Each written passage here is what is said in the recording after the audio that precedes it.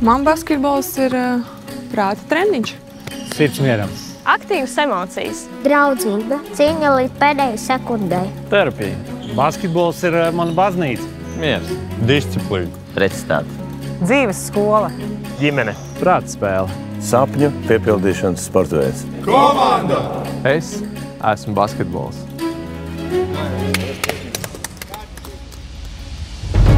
Basketbols aizrauja, vieno un spēcina Latviju jau simt gadu. Tā ir stratēģiska spēle, kurā nozīme ir katram lēmumam, spējai sadarboties un izmantot komandas stiprās puses. Bez pārdomātas stratēģijas un vienotas saspēles nav uzvaras. Par to atgādina Latvijas bankas kolekcijas monēta Latvijas basketbolam 100.